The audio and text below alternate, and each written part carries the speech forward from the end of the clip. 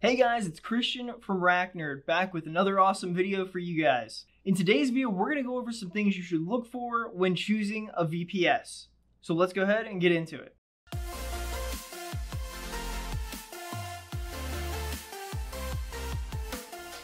So you're in need of a cheap VPS hosting service. One question that comes to mind is how do you find the right one for you? Is there any particular characteristics that you should look for when choosing a VPS? And the answer to that question is yes, and we're going to go over them right now. The number one thing is provider track record and engagement and feedback. It's essential when looking at any KVM VPS, you want to find one that has a stable track record and make sure to do your due diligence. Now, the action items on this due diligence list, now some of the things on this list are checking to see how engaged that provider is with their community, such as on forums or review sites. What kind of feedback do you see whenever you're looking up those reviews? A provider lacking engagement publicly probably won't be too helpful or too apt to answer help requests in their help desk. Number two is redundancy and server hardware. Look for a provider who deploys a VPS based upon healthy host nodes. For example, dual CPUs, sufficient and fast storage,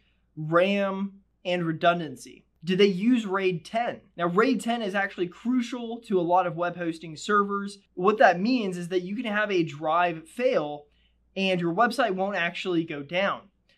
The reason why is because RAID 10 takes the data that you have on your account, your website, and it copies it to two separate drives. So if one fails, you still have the second drive which kicks in. Another kind of nice thing whenever it comes to uh, to having RAID 10 with your server host is the fact that if this drive goes down, all they have to do is add another drive to it, and then this data will copy back over, and you have RAID 10 working efficiently. That means that even if your drive goes down, at no point will that drive cause your website to go offline. So that helps you remove all of that downtime and it gives you data stability without having to worry about data loss at all. Number three is network. How is the provider's network? Where are their data centers located? And see if the latency and speeds work for your intended usage and audience. In addition, look for a provider who actually offers multi homed network. Hosting with a provider that only has a single homed network, if that single ISP goes down, then it could cause your entire VPS to go down until it comes back up. However, if you have a multi homed network, that means that it has multiple ISPs in the network blend, which can prevent any outages from happening. For example, if you have two ISPs and one of them goes down, it will automatically go to the other ISP to carry the weight. This will actually eliminate any single point ISP failure and result in a lot higher uptime for your account. Also, be sure to ask what is the provider's uptime SLA? Of course, the goal here is to not make your search more difficult, but rather find you the perfect KVM VPS for whenever you're ready to purchase. Number four is support.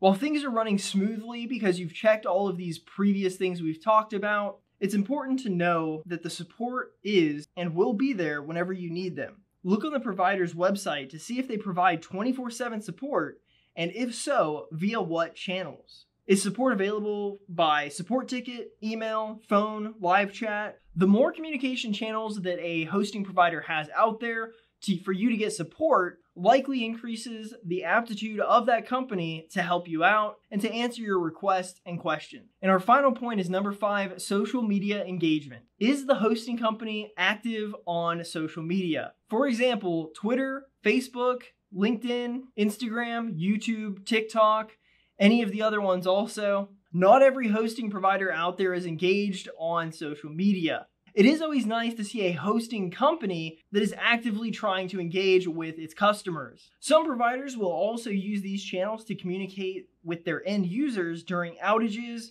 and assist end users who prefer social media for escalation. Some providers like RackNerd are highly active on social media and leverage the power of social media to stay connected with our customers and community. That being said, feel free to test out providers' support Contact them and don't be afraid to ask them how long they've been in the industry and what their long term goals and visions are. What makes them special and unique? What locations do they have available? Some of these will actually help you make your decision. Thanks for watching. I hope this video helped push you in the right direction in your search for a new VPS. I'll leave a couple links in the description down below so you can see some of RackNerd's special offers whenever it comes to VPSs. Thanks again guys and I'll see you in the next video.